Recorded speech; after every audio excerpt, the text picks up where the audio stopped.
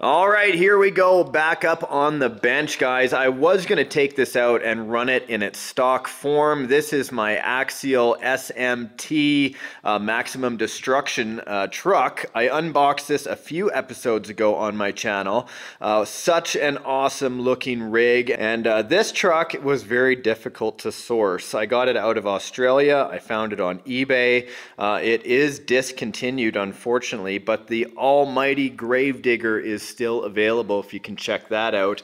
And of course, maybe you can score one of these on eBay as well. So uh, I got my J Concepts box in here. I put in an order for uh, some tires and some rims.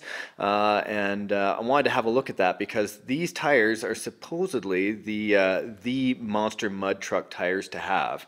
So these ones, even though they're beautiful and wide and would float on top of the mud very well, I'm going to be going for a skinnier, more aggressive aggressive tread pattern and uh, want to have a look at their uh, rims as well.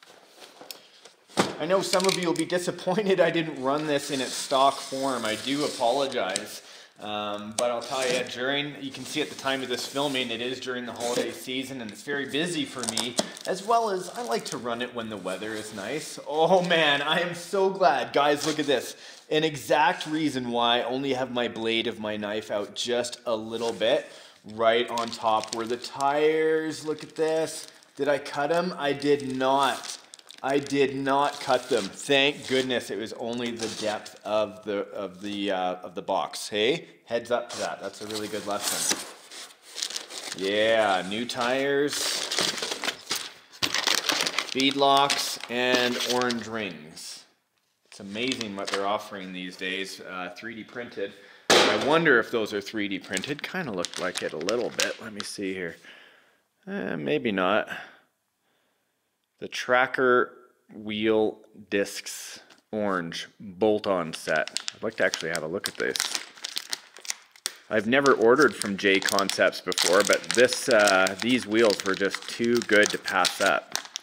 So what are these rings actually like? Oh, they're not 3D printed actually. They're injection mold and they're very lightweight. Not bad. What can I say about two rings, right? Except they should be great inserts to make it pop the color. I still want to stay with the neon orange of Maximum Destruction there. Here is what I really wanted to look at today. The Fling King Blue Compound Soft. These are huge tires. Look at the tread on the inside. Wow! Wow, guys, look at this. That is insane. Okay, I am now officially in love with the J Concepts tires, the Fling Kings. Holy smokes. That's the most aggressive mud tread I've ever seen. Okay, except for um, you guys will be like saying to me, what about the 2.2 uh, mud flingers, I think. I can't remember the RC four-wheel drive tire. Um, this is definitely, let me see, I have one of them somewhere. Let me find it. There you go. The Mud Basher tractor tire, one of the largest 2.2 uh, size tires you can get on the market today for trail trucks.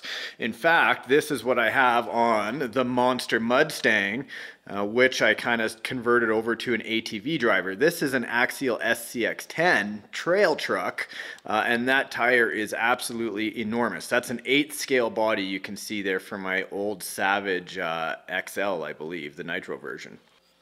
They look slightly smaller, I think only because it has more of the uh, tread sticking out. The lugs are much deeper, so it doesn't look the same as this one. Definitely the same uh, um, size overall. If anything, the RC four-wheel drive tire is just like a millimeter larger, but that's just by eyeballing it. Having a look at the tires side by side, look at this. You can see the lugs are actually supremely different, much deeper on the J Concepts tire. So I also, when I ordered it up, paired it with these uh, Dragon um, wheels. You can see a 2.6 Mega Truck, uh, 12 millimeter hex wheel with offset adapters and discs, two piece.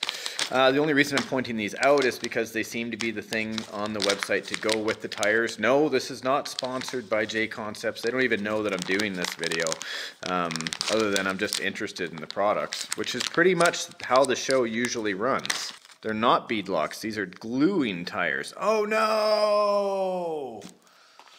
What? What about these discs? I misunderstood. It's okay. And these discs must come. Aha. Aha. So what, they just screw on like that or what? That's exactly what they do. Remember, if you're going to use a drill, make sure that you have got great throttle control, especially when you're using plastic, because uh, it only takes one second to uh, overturn those screws and strip out a thread, especially in this plastic. These rims uh, actually come with four different offsets. I did go with the larger uh, uh, option here.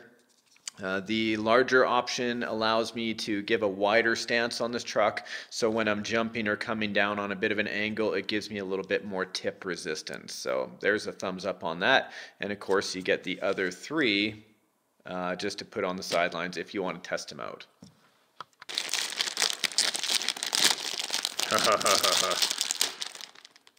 the smell of new tires.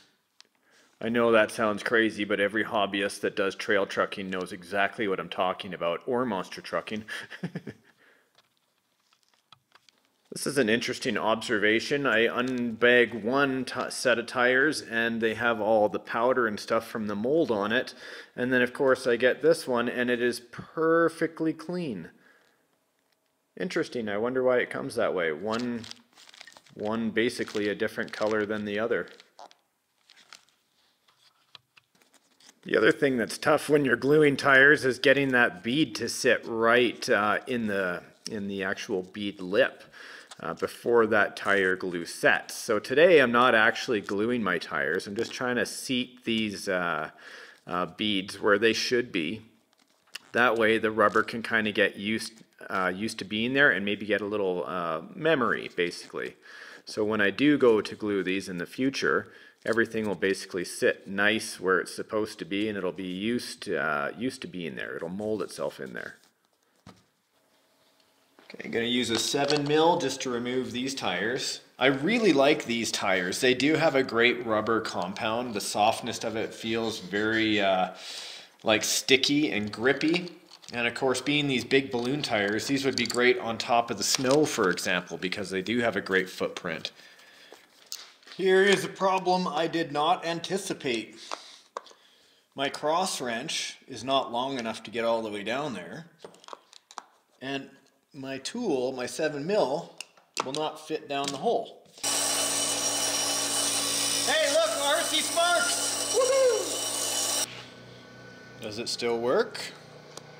Indeed it does.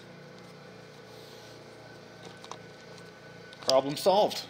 Still lots of meat on here by the way. For those wondering, very strong still. And while I'm working on the wheels, switching out the back ones, I do have some um, hub carriers right here for the rear. These are aluminums and will stop any kind of flex from happening uh, in the axle housing near the end.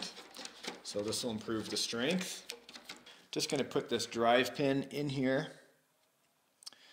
Take a small amount of Loctite. I'm just using a blue Loctite right now just to cinch up these screws. And the reason why I'm doing this is because it's an aluminum hub carrier um, on the back, this straight axle hub carrier. I want to make sure that I don't lose these screws when I'm out uh, bashing around. So top and bottom, so I'm going to take this opportunity now to kind of show you the difference between the two tires. You can see the offset actually widening the stance considerably away from the truck, as well as you can see the tire is super skinny. So I imagine I'm going to have some good cornering as long as I don't see a lot of tire fold uh, in the sidewalls as well as the offset, offset might be a little bit too big, uh, but I still want to try it with a nice wide truck to see what kind of power we can get. Yes, I totally expect uh, to snap an axle stub or an axle because of the offset that's in place. That 32 mils is quite a bit. So Max D in all its glory right there. That's what she said, totally. Uh, here you go. There's the tires on there, guys. They are looking very gnarly, very aggressive. Uh, these, you know, definitely going to hold their own. Uh, and of course, I'll be swapping back and forth uh, the tires, of course, to try them out. Uh, uh, and I can pretty much go back to stock right now just by switching the tires out, but not after this next step. Let me remove the body. One of the things I noticed in the last video I pointed out was as soon as I put a 3S LiPo in there, just 4,000 milliamp hour, I had quite a bit of sag in the rear end suspension, which I do not like that. Um, so I had to to uh, pre-tension those coils considerably uh, and I'd like to take that off just so I can have the geometry of the truck, the suspension work the way I would like. Uh, so on eBay I went, I do a lot of eBay shopping over the years, that's probably my biggest place that I do most of my shopping for the show. Uh, this is Hot Racing, normally I'd stay away from Hot Racing stuff only because I've had mixed uh, results with them, uh, but their 120 millimeter internal spring air shocks are very good. I haven't had any issue. I won't be running any uh, uh, fluid on the inside because these shocks that already have fluid are going to be balancing them out. What am I talking about? I'm going to be doubling up on the shocks right now, taking this top perch, moving it to the outside uh, uh of the shock hanger, as well as this shock perch, moving it over. On the arms, it already comes with a second position for another set of shocks.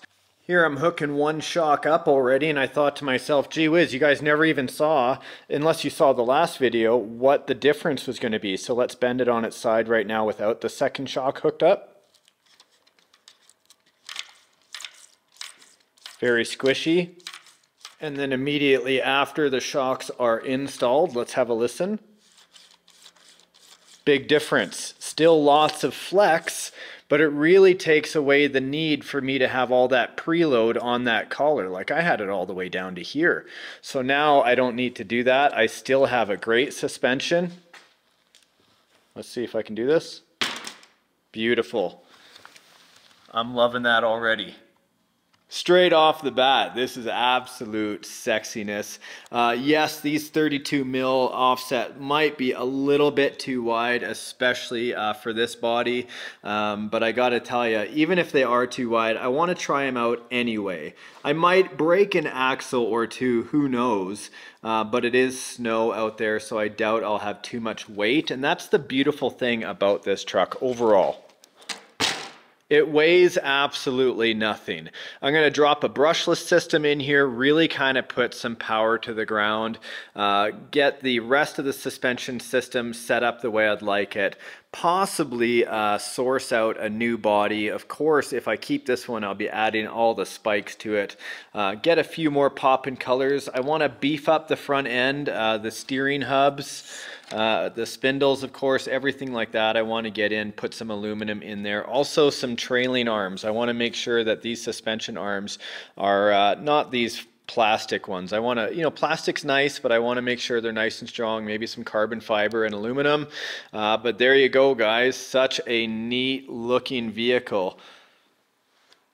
These tires over here from RC four-wheel drive, uh, they do not have those big cut lugs and they just happen to hold a lot of mud. I'm hoping these big lugs right here actually don't hold the mud and with the proper power from a brushless setup, three or possibly four S LiPo that I put into here depending on what I decide to do, uh, it should fly the mud out and really lose a lot of that weight that uh, was burdening my other trucks. So guys, thanks a lot. I know it was a little bit of a dry build video today, but we got to have that from time to time to get to the really awesome mud flinging, snow flinging times. But I like my building. Upgrading and stuff, you know, I always had a saying if it ain't broke, just upgrade it, right? Because you always want to be working on your RC no matter what. So, guys, thanks a lot. Get outside, have some fun with a hobby you know I love. I'm sure you're going to love it too. Leave a comment, click the like button. It does help the show. I love reading all the comments, and we'll see you in the next episode of RC Adventures. Now, get outside and have some fun with RC. You know I always do. Bye bye.